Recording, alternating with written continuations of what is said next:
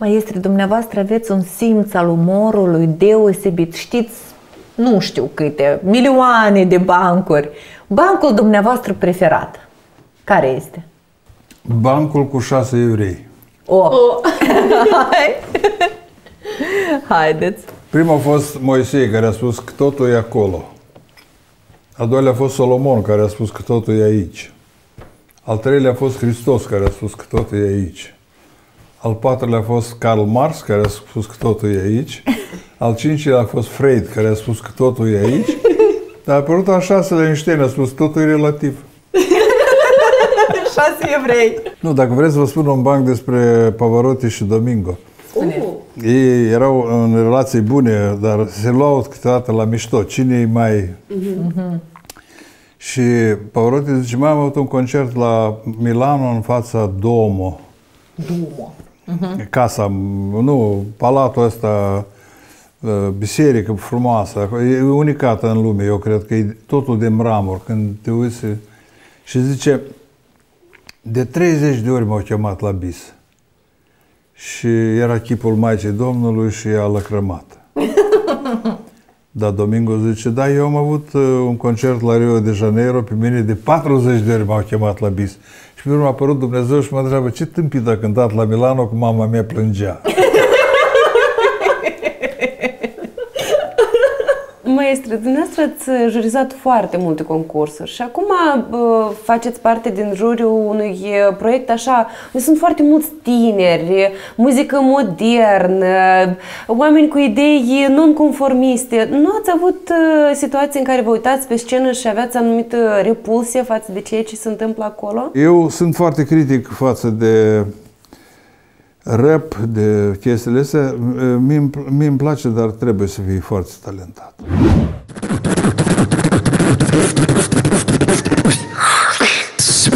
Mie, de fapt, genul ăsta nu-mi place pentru că atâta forfoteală împrejur și atâta este tot, dar ceea ce faci tu este foarte interesant și cumva mai, mai convins astăzi că poți face. Eu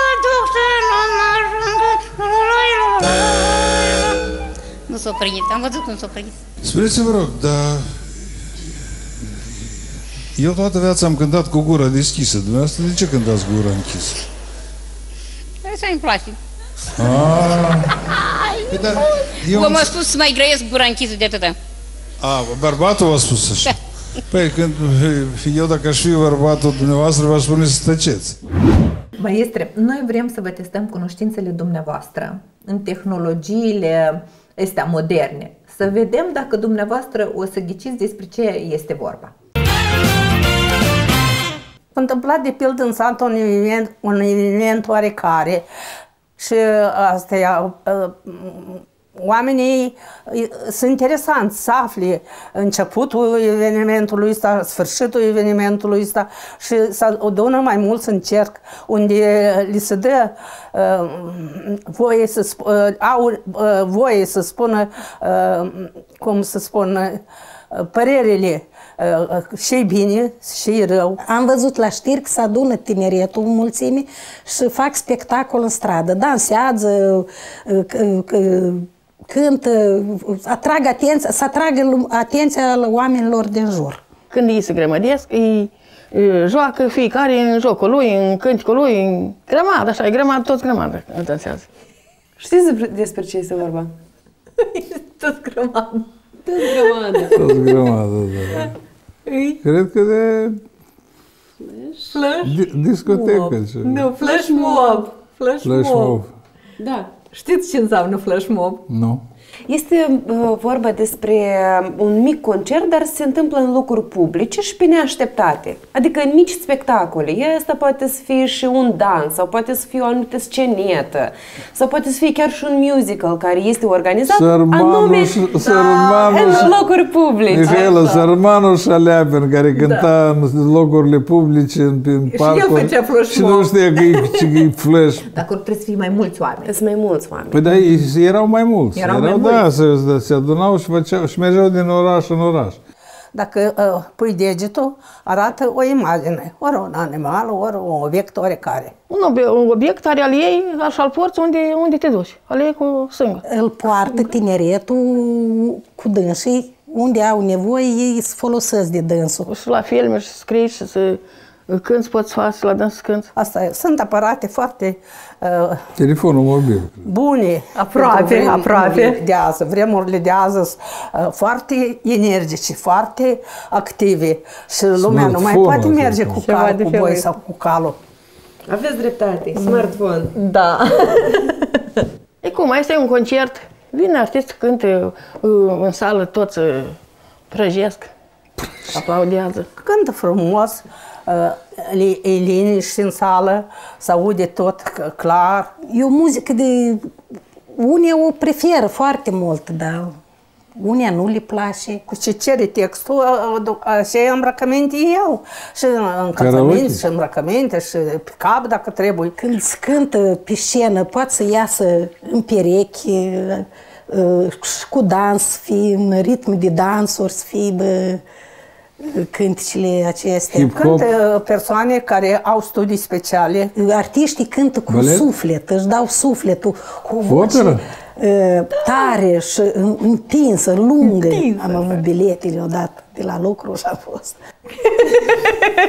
Operă, operă. Știi- Nu, operă, dar el atât de, de, de parte e, e, explică că eu mi-am văzut să minte de bancul când un gruzin e, s-a întors în, e, în munți la dânsul acasă și, po- și îl explica, el a văzut e, salut.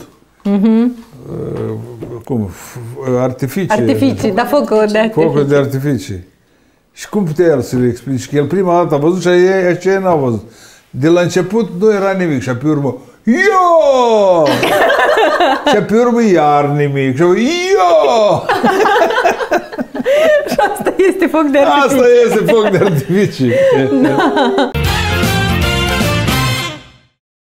Noi vă arătăm niște poze, iar dumneavoastră trebuie să ne spuneți foarte succint, să ne comentați ceva despre aceste poze. Ia Persoane. care- Persoane. Deci, Valentina Năforniță. Este o cântăreață promițătoare. Asta este prietenul meu, Grigore Grigore Vieru. Vieru, noi am fost și vecini. Și eu odată l-am întrebat, zic, Grigore, cum scrii tu poezii? Că sunt atât de simple, parcă și eu aș putea să le scriu. Și el a spus, Mihai, Dumnezeu ne-a dat ție să cânți, mie să scriu, așa că tu cântă, dar eu îi scrii. Eu îngrosă. Uh, Îl stimez, nu știu de ce, nu știu de ce. E uh, un băiat foarte gen, gentil, e directorul nostru acum. Are privire așa că în- dintr-o măsură care te, te înțapă, dar este un, un om foarte inteligent, este un om care știe să asculte. Luciano Pavarotti. O, Luciano este, eu niciodată nu pot spune că a fost o bomboană, un om cât de mare a fost, atât și de bun, atât de talentat. Îl cunoșteam la scala, el m- mai dădea niște sfaturi, era cineva care îmi făcea curte și el Nu. făcea din deget, nu. Tot o mare cântăreață, dar a fost un mare cântăreț, pentru că eu l-am ascultat pe viu de multe ori. Mircea Snegor, îmi permit să spun că suntem prieteni, pentru că el mi-a cădănat toată uh, opera lui de patru volume și peste tot a scris prietenul meu, Mihai Munteanu. Nu vreau să supăr pe nimeni, dar mm, de multe ori îmi pare rău că el n-a mai rămas încă pe patru ani președinte. Serafim Murechean. Serafim Urechean. Dar După câte știu eu, el vrea iar să fie primar. Eu i-aș dori succese pentru că eu nu vreau să critic pe nimeni, dar nu simt că este uh, gospodar în oraș. Și pentru final avem un tradiționalul nostru chestionar ai show, avem un blitz, o serie de întrebări la care vă rugăm să ne răspundeți în trei cuvinte, nu mai mult. Okay. Ce vă obosește cel mai mult? Mă obosește cel mai mult minciuna și trădarea. Unde plecați în vacanță? De foarte rar sunt în vacanță pentru că toată viața am muncit. Paris vă place, Franța, Îmi place, Italia? îmi place în Slovenia, în Rogașca. Așa. Ce regrete aveți? Că n-am dovedit multe lucruri să fac. în viață. Care este legătura dintre politică și cultură? Nu este nicio legătură. Po- uh, Cultura este cultură, dar politica este absolut altceva. Dar aș vrea să fie mai multă cultură în politică. Personajul preferat din literatură? Don Quixote. Maestre, noi avem un cadou pentru dumneavoastră. Știam noi cu dumneavoastră asta o să ziceți, că vă place Don Quixote. Uitați-vă, avem un portret. Vedeți, aici suntem noi și aici sunteți dumneavoastră. Don Quixote de la Criva. De la Criva. Don Quixote de la Criva. Uitați-vă. A, mersi mult, ce Îmi frumos. place? Da. Este, este o... Vă rugăm să-l puneți portretul ăsta la loc de cinste Neapărat, neapărat. și să vă aducă, ca să vă aduc aminte că ați fost la noi la emisiunea noastră iShow.